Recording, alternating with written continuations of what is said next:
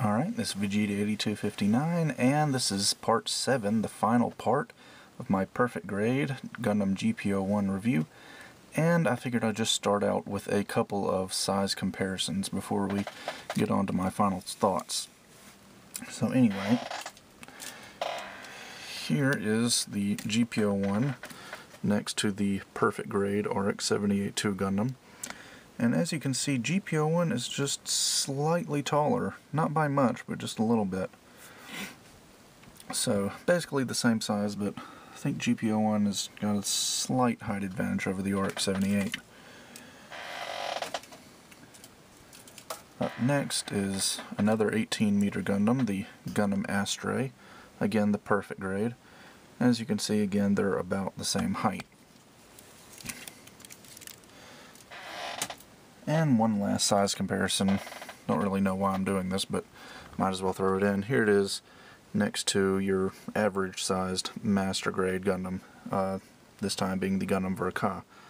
So that's just the size comparison between a perfect grade and an average sized master grade. So now that we've got that out of the way, let's go ahead and get into my final thoughts on this kit.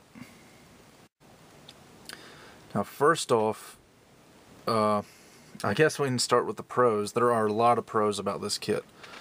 Um, first off is just the fact that you can build two different mobile suits from uh, one model kit box, uh, being the GP01 ground type and the full burner space type.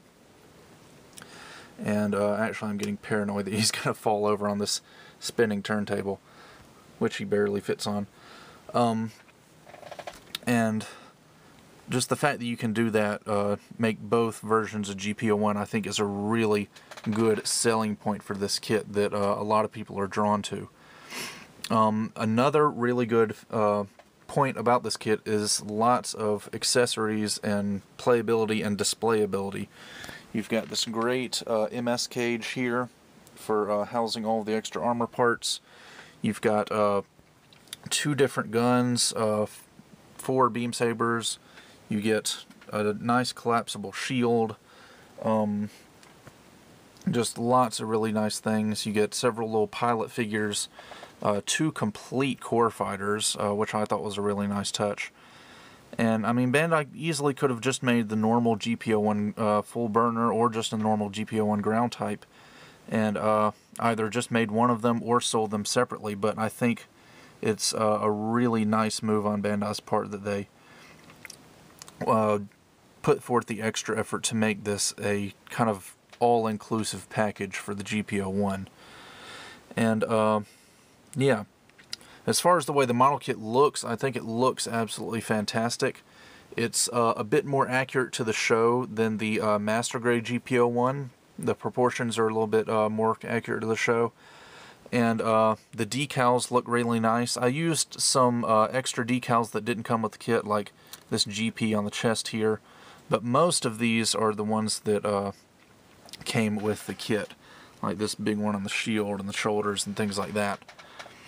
Uh, this is a really nice, complex, uh, perfect grade. It's got loads of internal detail. Uh, the inner frame on this kit is fantastic in my opinion and uh, just really has a lot to offer in terms of detail. Uh,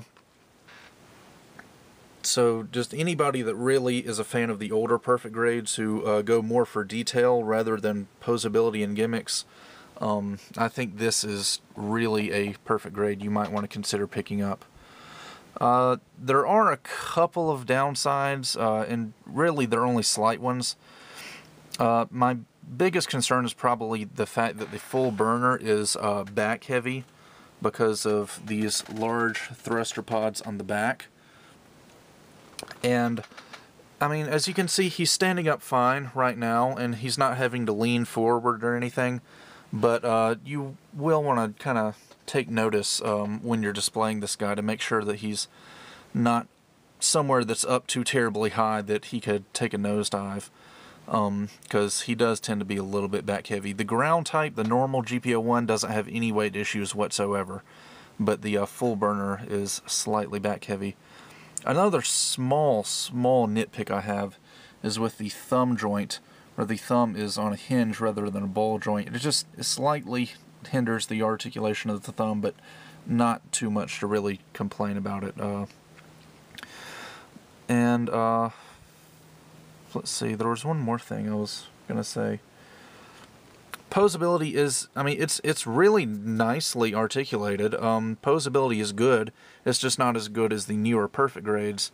But I think that comes down to Bandai uh, with the newer perfect grades focusing more on posability and gimmicks rather than where the older perfect grades they were focusing on just enormous amounts of detail.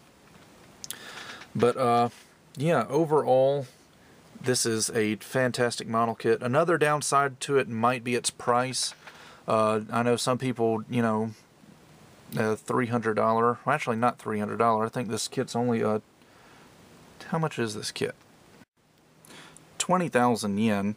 So uh, it's the same price as Perfect Grade Zeta, even though GP01's box and the number of parts you get is a lot more than uh, Perfect Grade Zeta. But it's uh, 5,000 yen less than Perfect Grade Double O Riser and Strike Freedom.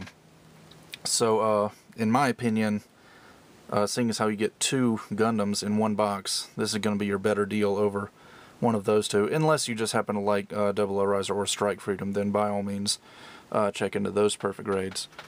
But, uh, yeah, this is just overall a really nice kit.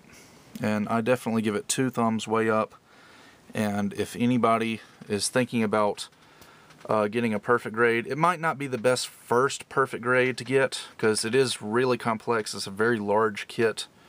Um, and I would say try one of the smaller perfect grades first, like uh, the Gundam Mark II or something like that. And but definitely, if you get confident in uh, building perfect grades, this is one you'll want to check out. So, I guess that about does it for the Perfect Grade GP01's review. I hope you enjoyed it. I certainly enjoyed building it and painting it. And I will see you guys next time.